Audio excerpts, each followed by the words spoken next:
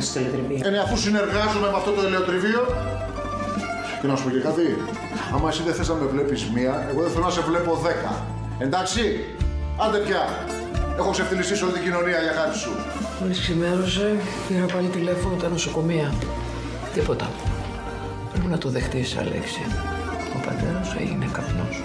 Η Μυρτάλη τι κάνει, πώς είναι; Ζορίστηκε λίγο με το φετίο, αλλά δεν το βάζει κάτω.